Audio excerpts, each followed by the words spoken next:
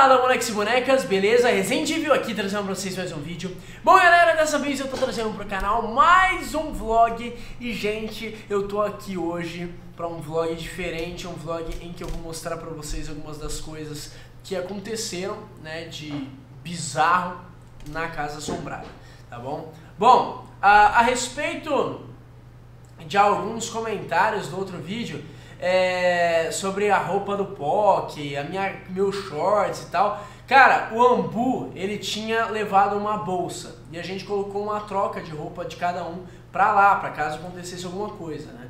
Então as roupas estavam todas dentro da, da, da bolsinha do Ambu. Inclusive a luz negra, a lanterna, celular, todas as coisas. Mas, enfim, gente. Hoje eu vou falar sobre algumas, uh, algum, algumas coisas estranhas que aconteceram, tá?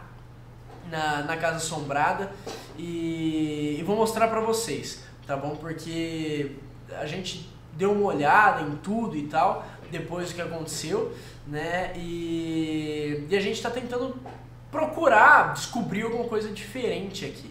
Então, vamos lá. A primeira foto que a gente tem é lá do começo, quando a gente começou a ir na casa, que a gente viu uma sombra passar ali na, naquela, naquele feixe de luz ali, ó. Esse fechinho de luz aqui, ó. Exatamente aqui, ó.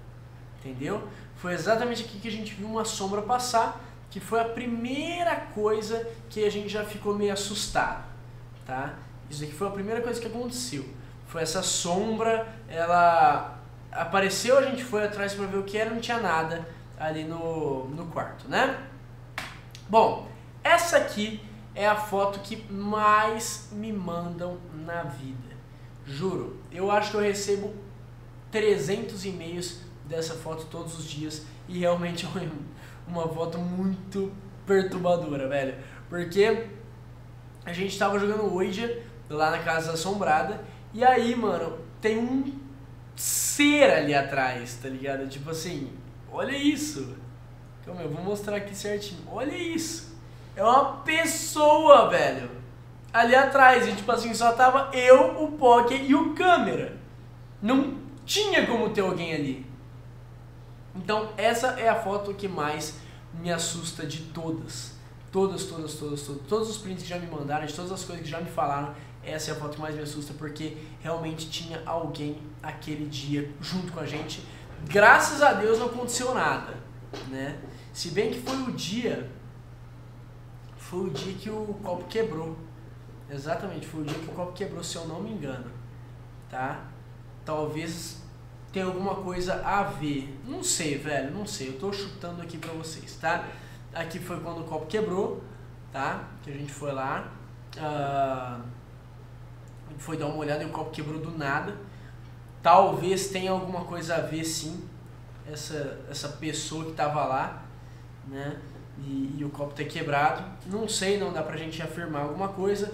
Eu só sei que tem alguém lá na casa fazendo alguma coisa. Entendeu? É um morador, não é um morador, é alguém que tá lá só pra zoar, não sei. Só sei que tem alguém entrando lá com o intuito de fazer alguma coisa com a gente, né? Porque trancaram a gente, Fizeram aquele negócio da boneca lá embaixo justamente pra gente ir lá pra eles trancarem lá em cima. Então alguma coisa estranha tá acontecendo. Essa outra foto aqui, galera, foi de quando a gente chegou lá e o Wood já tava completamente destruído. O tabuleiro tava quebrado, né? Também foi uma coisa que não foi a gente que fez, mas a gente tinha deixado o tabuleiro lá, né? E aí quando a gente chegou, o tabuleiro estava quebrado em três pedaços. Três pedaços, tá? Foi bem assustador isso também, ok? Porque o copo já tinha quebrado, o tabuleiro quebrou, uma vela tinha sumido, enfim, alguma coisa tinha acontecido ali, né? Temos a, essa outra foto aqui, gente, foi quando uma cadeira sumiu. Uma cadeira sumiu. Tipo assim, tinha uma cadeira naquele quarto ali que tá o círculo, quadrado. Uh, esse quarto a gente nem entra muito porque ali é um lugar onde tem ninho de morcego, ou seja, tem muito morcego. A gente andando ali já vê uns 4, 5, 6 morcegos voando ali, é bem assustador. Então a gente sempre procura não entrar naquele quarto. Só que tinha uma cadeira bem velha, bem arregaçada, posicionada ali. E aí a gente ouviu o barulho da, da cadeira sendo, sendo arrastada. E ela voou lá pra dentro, a gente não viu quem, quem fez isso, a gente não viu o que, que aconteceu, a gente só sabe que a cadeira realmente sumiu. Esse dia aqui foi quando uh, tinha. quando a gente encontrou a boneca né, na, na piscina. Vocês podem ver que a piscina estava cheia, por quê? Porque tinha passado uma época de chuva. Então a piscina tinha acumulado ali uma água, né? Tava uma água parada. Coisa que agora, quando a gente foi lá esses dias, não tinha mais. Porque já tinha secado essa água. Mas foi o dia que a gente encontrou a boneca, galera, que foi bem assustador também, foi muito tenso, né? Porque a gente ali descobriu que tinha alguma coisa errada. Porque, como eu falo sempre, ou alguém tinha colocado, ou alguma coisa sobrenatural tinha acontecido. Né? Essa boneca a gente trouxe para casa, porque depois a gente só encontrou a cabeça dela, né? Mas antes tem essa cadeira que caiu. Essa cadeira que caiu também foi muito tenso, porque a gente estava na, na sacada ali, e aí do nada caiu uma cadeira, velho. Caiu uma cadeira. Aí eu te falo, mano, como que o espírito vai ter força para empurrar uma cadeira desse tamanho? Entendeu? É aí que eu fico meio assim. O morador já estava lá. Quem me garante que não foi o morador que jogou essa cadeira? Para assustar a gente. Entendeu? Aí que tá o, o X da questão. Então, essa cadeira aí foi um negócio que assustou demais, demais, demais, demais, demais mesmo. E foi jogada do andar de cima. Essa foto é uma foto que dá muito calafrio porque a luz fez uma cruz ali na, na, na pilastra. Quem me mandou essa foto foram os inscritos. Aliás, todas essas fotos que eu estou mostrando aqui foram os inscritos que me mandaram, tá? Ali realmente tem uma pilastra e a luz fez uma cruz ali. Isso é bem assustador dá bastante medo também, tá? Enfim, uh, isso foi um negócio bem tenso, porque eu não tinha visto, fui ver agora nos meus e-mails, quando eu fui abrir pra ver o que a galera me mandava, né? Esse dia foi quando a gente pegou a cabeça da boneca, a cabeça da boneca surgiu, tipo, só ela o corpo sumiu, né? E ela tava limpinha ainda, a gente decidiu trazer pra cá depois que... Não, a gente deixou lá, Verdade, joguei. Deixei lá e depois apareceu aqui em casa toda arregaçada.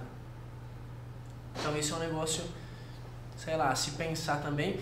E outra, vocês podem perceber que ali a água já tinha secado, então passou um tempo, né?